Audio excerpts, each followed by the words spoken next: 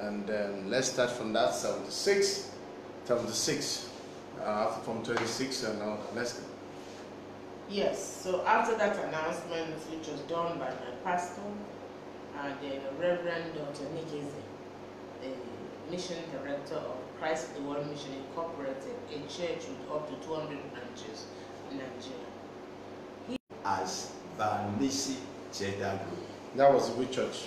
The Methodist Church, the line Port Harcourt. Wow. And the group is still in existence today. What year was that? That was 1987. Wow.